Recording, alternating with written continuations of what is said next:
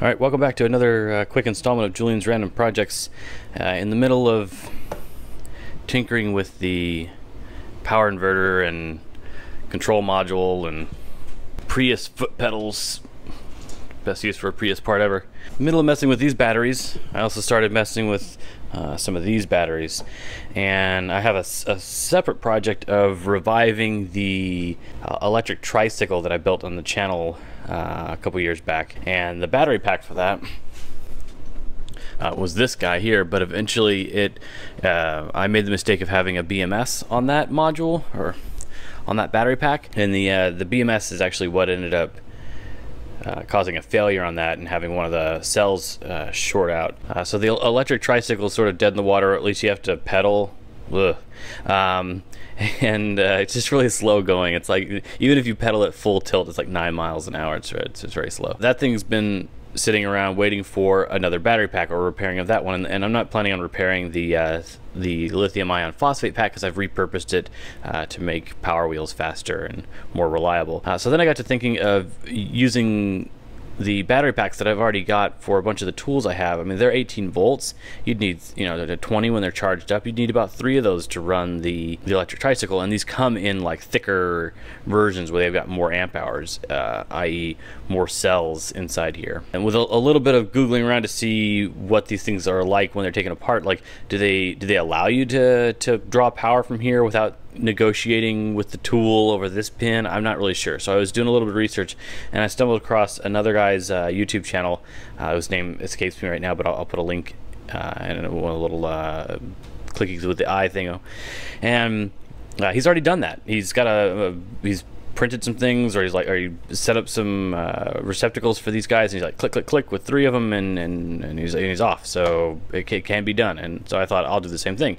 Then it dawned on me I, I, usually get these things when they come in in the little packs of you know you buy an entire tool pack and it, you, it comes with a charger and a battery and stuff. So the price of the battery uh, gets kind of like lost in the sauce with the other tools. And so I wasn't really sure uh, I knew they're expensive but I didn't know how expensive. Uh, some of these things are going for 60 100 bucks uh, a piece depending depending on the capacity. I need to buy three of the big ones because I don't want to put a lot of stress on one of these little ones. I got to buy three of the big ones. Now we're talking about three hundred dollars for a battery pack or a series of batteries to make my electric bicycle move. Not so much. So I got to doing what I enjoy doing in the in, in the past is uh, trolling around eBay and looking for uh, some of these that have been damaged or burnt or maybe uh, they they don't work for some reason. If you get enough of them you can start to learn what some of the key failures are uh, or have like four or five and make one or two good ones so out of the all the broken ones. So you have to buy quite a few and by quite a few I mean you know a few dozen. And you start to go through and you you weed out the really bad ones like uh, was I think one of these is like water damage to an extreme. All right, so it's the next day. I've done a bunch more testing with these and started to come come up with uh, a few good ones out of the uh, the larger pack, and then I'm recording the uh, the watt hours out of 24. So uh, they are rated for 24 watt hours. Some of these really low ones I might go in and replace all the cells and uh, keep the housing or the circuit board or something like that. I guess that's if I'm hard up for some um, some packs or maybe even make like a Frankenstein one where we, we use this interconnect but then we like 3D print something that holds like four times that, you know, do do do do. I don't know. But being the next day, I've had a chance to uh, catch up on some YouTube videos, and I got a comment from a response to one of my comments from a guy named Johnny. Um, yeah, Johnny at uh, at over at uh, try to help try to help you, and uh, I mentioned that I thought that the he he noticed a discrepancy between his testing and uh, Arduino versus Evil's testing. I suggested initially that it was Peukert's law uh, causing the de the delta because Arduino versus Evil was discharging at 9 amps and he was discharging at a third of an amp. And on, on on closer review and reading about Peukert's law, it's something I'd learned when I was dealing with sealed lead acid batteries, and I guess they don't apply very. That same law doesn't directly apply to lithium ions that are in here. Uh, but kind of, you know, like I don't know, is this an old wise tale or like what? But my gut tells me that discharging at a, a lower rate might yield higher uh, watt hours out of a out of a battery pack. So Uh, going back and reviewing the math between Arduino versus Evil and Johnny's testing, uh, I think they're both spot on, at least in the in the the application. I mean, I, I test things the the same way that uh, Arduino versus Evil does, where it's I mean, it's how all batteries are tested. It's a it's a known load over time with that battery and then you just do some ohm's law calculations and stuff and so you know we, we have things like these and we have stuff like the um, like the iMax B6s, uh, mostly because we, we don't want to sit there and do the math, and we also want to kind of you know Ron Popeil this shit and just you know click some buttons and then come back and get your results instead of running a timer or having some old you know, uh, you know a digital stopwatch and, and, and monitoring it and watching it when it hits 16 volts, where you know something like this or the circuitry that's built into here would cut off initially, would cut off at 16 volts in, in, in, the case of these battery packs that we're messing with, and would do some of that work for you right? So if you're watching this and you're trying to understand like how to test some of these battery packs or even a single cell, right? Like it doesn't really matter whether it's a single AA battery, which uh, if, you're, if, you're, following along at home, kids, you want to you know, test the capacity for an alkaline, you're going to test it once, and that's it. That that goes that goes in the trash. Then you know how that type of battery goes. Uh, but if we're talking about rechargeables, you can test it and then charge it up and test it again, charge it up and test it again, and, and, and, and until the cows come home. So everything from a single cell up to a full pack can be tested with this method, and that is you simply run your battery voltage through a known resistance and then measure with a multimeter the voltage across that battery until it reaches what you would consider dead for that battery. Each battery type's a little bit different. Alkalines are different than metal ones, and then lithium ions different, slightly different than lithium ion phosphate, et cetera, et cetera, et cetera. So know your voltages, know your charge and discharge uh, fully charged and fully discharged voltages, and then you'll be able to stop, discontinue the test, and make your, your notes. Yeah, you, you saw in Arduino versus Evil's test that he took two, roughly two data points uh, at the beginning of his test, and then he you know, was discharging over time, and then uh, he took another measurement at the end of his test, right? Bam. So that does not be there, but uh, here and here. So at time zero and at, at time done of test. And what you what you can also do is you might have started here with um, 20 volts, and you might have ended here with 16. Uh, you can be really fancy, and you could do you could come in and uh, if you don't have a life, and you could you could measure, or, or if you have you know equipment that can that can do it for you, you can measure the voltage at a particular time every five minutes all the way down. And that would give you a more accurate reading of the number of watt hours that are collected, but you can do exactly what he did, which is to add uh, the two of these together and then uh, divide them in half, and then that would give you an average between the two, and then time is uh, you know it's constant, so that doesn't need to be messed with. And so you, you would just take the amount of time it took to discharge at, a, at your known resistance, you know, or your known amperage. In his case, it was like nine amps, and you know, math. Lots of ways to skin that cat. I'm gonna try and replicate the same test that Johnny did and see. Of course, I don't I don't have one of these Harbor Freight batteries. Everyone's you know, up up in arms about. Uh, and again, these are made by the lowest bidder. Okay, the the, the cheap Chinese batteries that are coming out of well. Uh, most, most places, but then uh, specifically the Harbor Freight ones, they get paid for working units that come off the end of the line. And if they run out of two and a half amp batteries and somebody's got a, a a tonnage of one and a half amp or two amp batteries, they're gonna sneak. They're just gonna sneak them in there, get the, the packs built, and wait for somebody to complain about it later. I, uh, have seen it time and time again. So, lots of money is spent in in marketing, in uh, public perception, et cetera, et cetera, et cetera uh, lawyers, you get the idea. The brand has to be protected, and, one of the ways that they protect that brand is through tighter input quality control on the cells, the components, the piece parts that are that these things are made out of.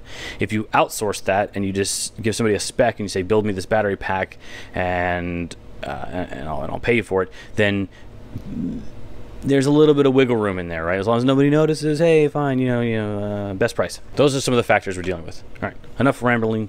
Uh, let me try and reproduce uh, Johnny's test using one of my own battery packs, and then uh, I'll discharge it at a high amperage and a low amperage, and see. I don't know. See if it, see see what see what our delta looks like. No sleep till.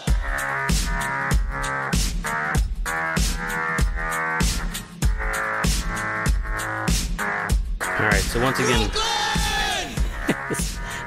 I don't know why this particular one feels super, super unsafe. Uh, we're about to pull a lot of current from this poor little battery. Uh, I've got a massive old uh, halogen bulb out of frame that's running in over this wire, thick gauge stuff. The original resistors uh, for my low uh, 1 amp draw, so it's just in addition to, uh, plus a little cooling fan for these guys, and then God help the, the, the lamp down there on the floor. Uh, it'll be all right. All right, let's see. Let's see if this switch can even handle all the amperage, and let's see what we finally get, because I, I got lazy and didn't want to do a bunch of math. All right, not bad.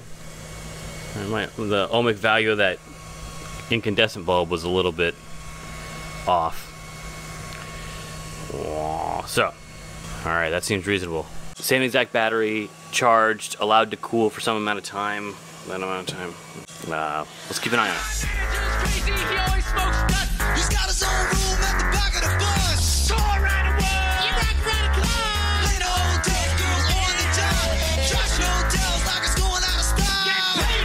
There we go. So on uh, 0.3 amps, we got 20.6 watt hours.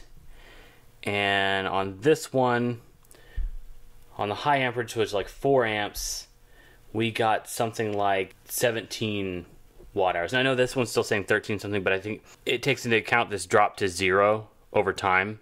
So ignoring that, we watched it. I mean, we can review the tape uh, on the time lapse. Uh, it was like you know 17 and some change uh, watt hours. So not a huge decrease, uh, but something. I mean, it's it's it's it's there, right? And so to to you, Johnny, if you're watching this, the I understand that the you know some of the the uh, papers on Peukert's law say that this that lithium ion is not affected by the same thing, but in a, in a, practical test here, exact same battery pack allowed to be topped off and charged, allowed to cool, so there's no internal heat with the battery pack, and allowed to rest.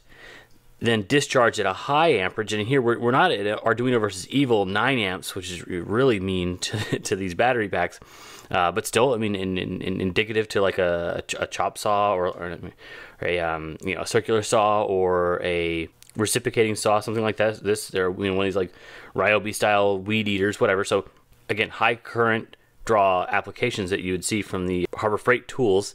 Here, about half that, we do see a reduction in watt hours coming out of the battery. The amount of, of what you would call your, your usable space, or usable um, capacity on that on that pack. So again, and sometimes manufacturers will talk about the battery pack being there and then the amount of usable. Sometimes it's, it's, it's software restricted and stuff. So usable again, it's all marketing wank. It, it, it's challenging to to keep track of. But here we have what I what I consider the the closest I can come to an A/B comparison between low current and high current, and there's a delta, right?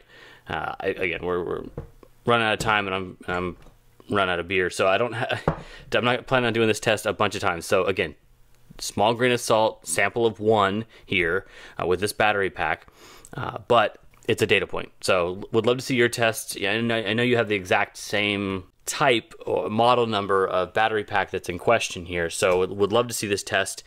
Again, feel free to hit me up. Happy to send this rig or something close to it that we can both test so that it's uh, we're reducing the number of variables here.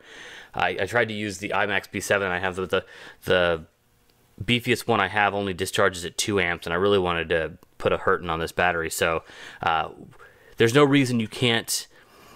I don't know if this thing this actually measures the current, but one could pop this open, and maybe I'll do that in a future video uh, if you don't beat me to it. Uh, you could pop this open and replace the discharge resistor, the, the thing they're actually shedding off uh, joules with to, to heat in here. You could convert it to something like this that's a lot beefier, or fuck even a uh, like a one of these mamma jammas here. Again, maybe a future video. All right, if you guys got gotten a kick out of uh, visiting the handful of us in our workshops here, and you want to see more stuff like this or uh, ass hatting around in, in, in the garage, feel free to subscribe, and you'll get future videos coming out of Julian's random projects. Thanks. I'm hanging in, there ain't no doubt, and I'm hanging tough. Over and out, over and out. Over